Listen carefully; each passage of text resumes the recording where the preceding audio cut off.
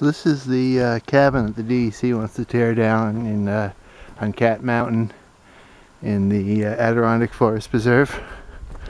It was on the property before they uh, took took ownership of it and violates the uh, state's policies against closed cabins on state land. It's a beautiful cabin. I think they should just take out the uh, open up the front, turn into a big lean-to, honestly. But I'm sure they wouldn't listen to that. Has aluminum, nice aluminum roof, great big picture window, and inside it has two bunks. At least for this winter, you can come up here and stay here.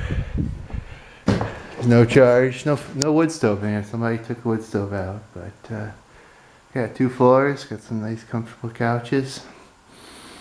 It's really unfortunate they're to tear it down though.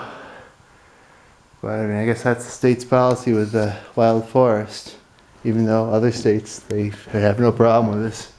New York is holier than holy, you know, so that's New York for you.